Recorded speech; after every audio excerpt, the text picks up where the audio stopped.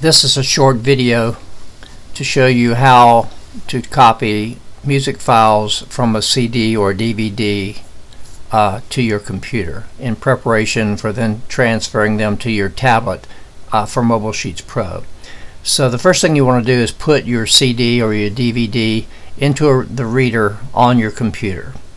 The next thing you want to do is go down here in the bottom tray. This is Windows 7 but it looks the same on Windows 10 and you see if I hover over this folder it says Windows Explorer just click on that. And it brings up uh, the directory of all of your libraries. And if you look down here near the bottom you'll see DVD drive F is the one that recognizes the CD that I have in there. So if I click on that you can see on the right side it shows me what's on that DVD and it's Waynesboro Choral Society Spring 2017 folder. If I double click this with my left button you'll see it has two folders in, in uh, contained in that master folder. An MP3 uh, folder with MP3 files and a folder with tablet PDF files. So here's how you get them onto your computer. Because right now you're looking at the DVD files. I want to put them into my music library.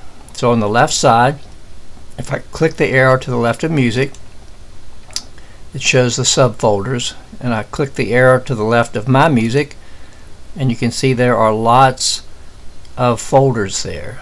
And where I want to put these two files from the CD is under Choral Society music files.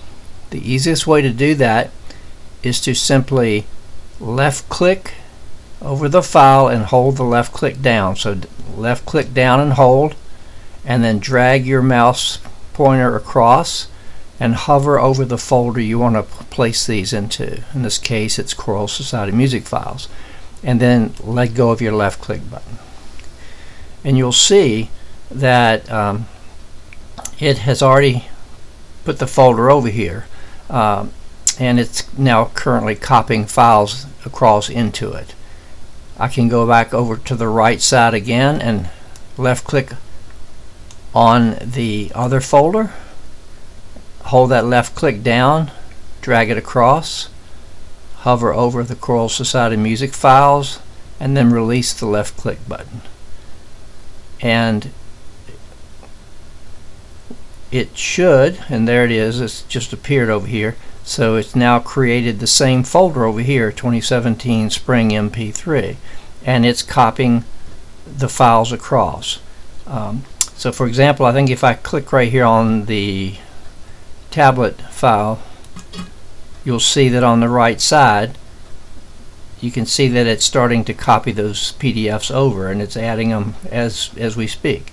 So that's how you get the files from your DVD or CD onto your computer and then you can watch the other videos on this uh, YouTube channel to then learn how to go from your computer into the tablet.